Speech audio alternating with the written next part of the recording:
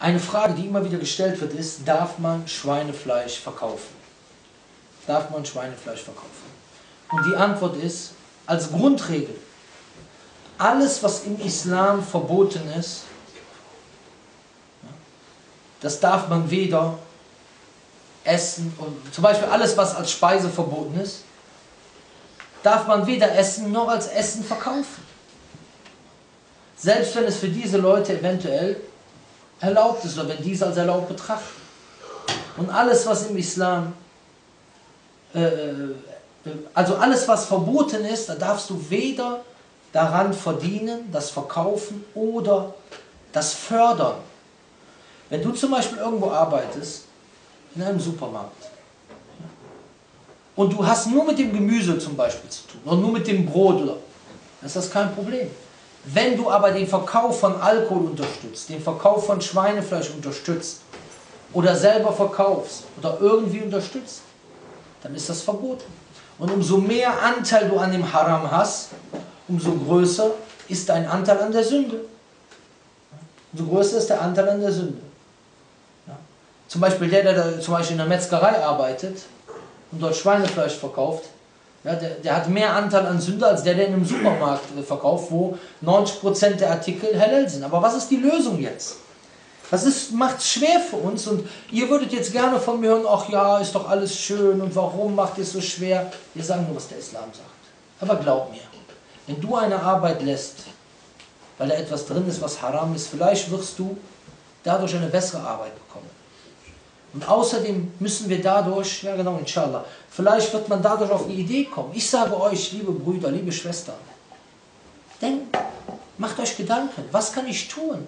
Wie kann ich zum Beispiel etwas aufbauen, wo ich helfe, etwas aufzubauen, wo nur Halal-Dinge verkauft werden?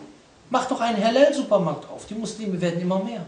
Und dann sollen die Muslime auch, selbst wenn es ein bisschen teuer ist, in den Supermärkten der Muslime kaufen gehen, weil die werden vielleicht von anderen Leuten boykottiert, damit die auch von dem Halal leben können. Und wenn ihr einkaufen geht, mit der Absicht, einem Muslim zu helfen, der von Halal leben will, dann kriegt ihr sogar noch Hasanat dafür. Deswegen, anstatt in billigeren Supermärkten zu kaufen, dann kauft doch mal bei eurem Bruder. Selbst wenn es nicht immer ist, aber immer öfter. Ja, weil eben hat dein Bruder auch erzählt, ja, er hat einen Sandwichladen aufgemacht, weil er einen Bart hat, wurde dann sogar von Muslimen boykottiert. Wir sollen dann gerade bei ihm essen gehen. Weil damit hilfst du ihm. Damit hilfst du ihm halal, auf halal Art Geld zu verdienen. Ja, das heißt, wir müssen uns erstmal Gedanken machen, wie können wir etwas aufbauen, was halal ist. Und deswegen, Islam ist nicht nur, ja, wir reden, wir reden den ganzen Tag nur von, äh, äh nur von, äh, von, ähm, von Koran auswendig lernen, sondern es ist auch, dass man guckt, wie man den Muslimen das Leben leicht macht.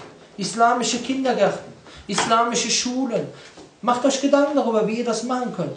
Kinder, Jugendliche, macht einen guten Abschluss. Vielleicht könnt ihr dann eine Firma aufbauen, wo auch Muslime auf halal Art und Weise arbeiten können.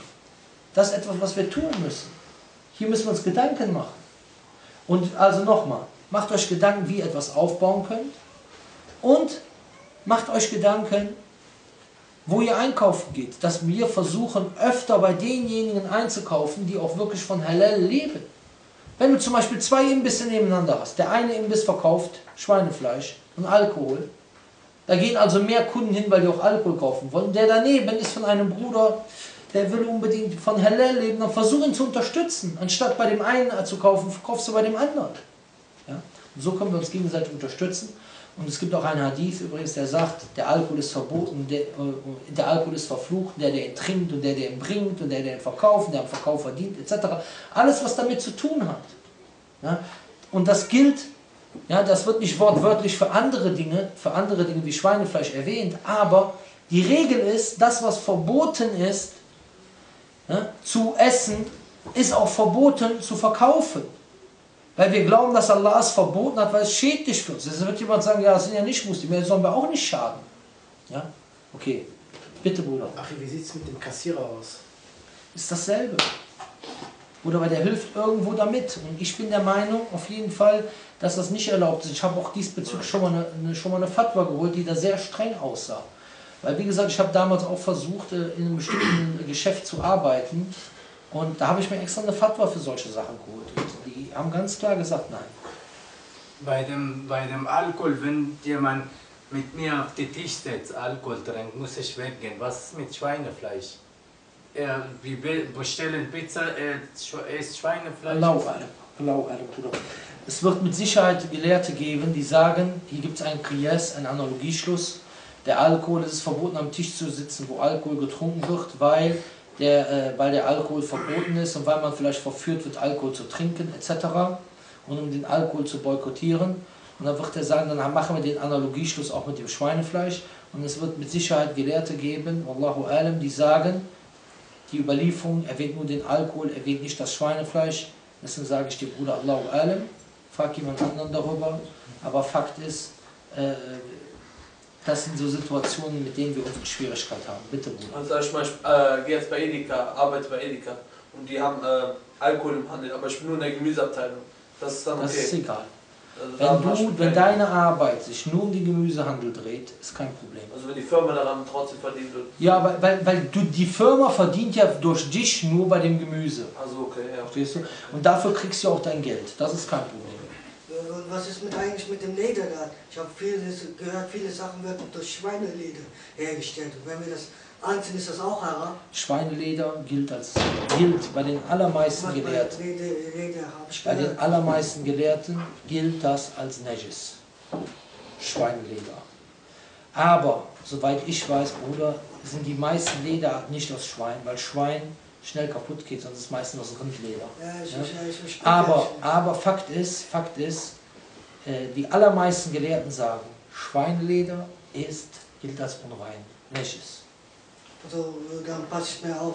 Genau, das ist auch meine Meinung. Genau. Habe ich nie gedacht, dass sie Schweine-Dings benutzen. Aber, Kannst du ausmachen, Bruder? Bruder, ich würde sagen, ich